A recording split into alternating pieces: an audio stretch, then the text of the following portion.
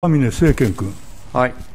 あのコロナ禍の下で、えー、営業保障や、えー、事業者の逼迫、えー、そういうことについて私たちは、えー、例えばあ経済産業委員会で当面足元の被害をどうするかということで、えー、早急に政府の、えー、政策を転換するよう強く求めてまいりました。えー、経済産業委員会にとどまらず、各委員会でも求めております。何よりも、えー、昨年、えー、コロナ禍の時に、えー、憲法53条に基づいて、臨時国会を開いて、はい、えー、そして、えー、営業、事業者への保障もきちんとやるべきだ、そういう議論をやるべきだということを強く申し上げてまいりました。以上です。日本共産党の赤嶺政権です。この間の審査会の議論で、コロナ禍や災害対応を理由に、緊急事態条項を議論すべきだという発言が多くありました。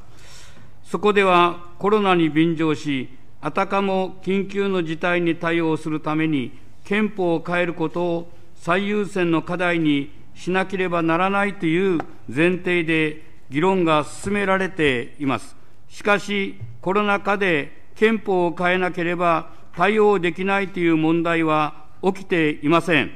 今、政治に求められているのは、憲法に保障された国民の生存権や幸福追求権を実現することです。国会議員はそのために全力を尽くすべきであり、コロナに乗じて改憲の議論を進め、ましてや自民党の改憲4項目の議論に持っていこうとすることは反対であります。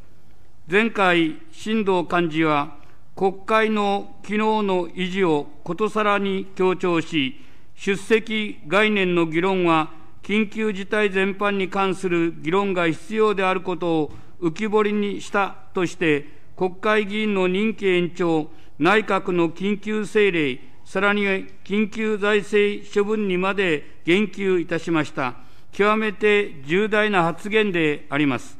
日本国憲法は国会を唯一の立法機関として規定しています。これは明治憲法下で乱用された緊急勅令や独立命令を廃し、立法権を国会に独占させ、権力の分立を徹底するためのものであります。内閣による緊急政令や財政処分は国会の機能を奪い、権力乱用を防ぐ三権分立を停止させるものであり、容認できません。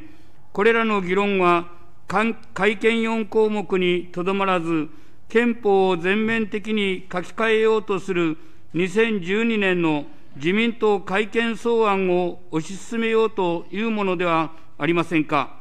国会の機能を維持することが必要だと言いながら、その行き着く先は国会の機能の停止が狙いであることははっきりしています。こうした改憲議論は、権力の縛りを緩め、内閣に権限を集中させ、立憲主義を崩すものに他なりません。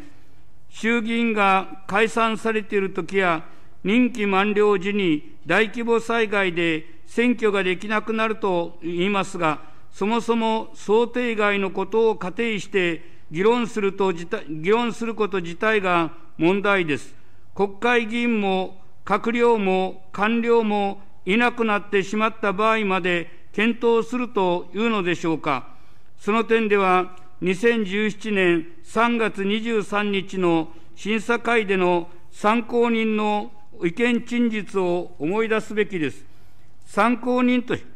て出席された永井浩二弁護士は、想定外の事態のために、その先に制度を設けると、それは想定内になる。さらにその先に想定外を考えて制度を設け制度を設ける。そうするとこれも想定内になる。そうするとさらに設けなきゃいけないと述べ、際限なく想定外が広がると指摘しています。さらに長い参考人は、想定外の事態とすると、権限がどんどん強くなってしまうことが危険だと強調し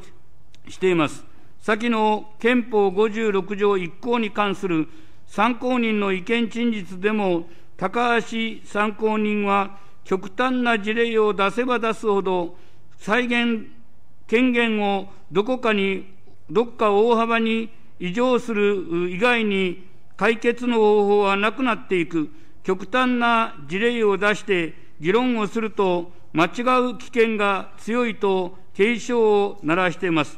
これらの専門家の意見が示しているのは、想定外を想定し、その想定外のために憲法を変えれば、権力を縛り、国民の権利と自由を守る憲法原理に例外を置くことになり、乱用を許す危険が高まるということであります。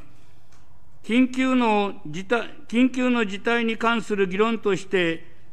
しきりに国会機能の国会機能の維持を繰り返していますが、そうであるならば、なぜ憲法53条に基づく野党の臨時国会召集要求を政府と与党が無視してきたことを問題にしないのですか？3月17日の福岡高裁判決は、憲法53条公団の規定は、少数派の国民の意見を国会に反映させるという趣旨に基づくものであり、極めて重要な憲法上の要請であることは論を待たないと強調しています。この明白な憲法違反を徹底的に議論すべきであります。国会機能の維持を言いながら、現実には国会の行政監視機能を軽視し、さらに国会の機能を停止させ、権力による人権制限を強めるための議論へと持っていくことは、権力分立や基本的人権の保障を原理とする現行憲法の現行憲法行方にも否定しようというもので、絶対に認められないと指摘し、発言を終わります。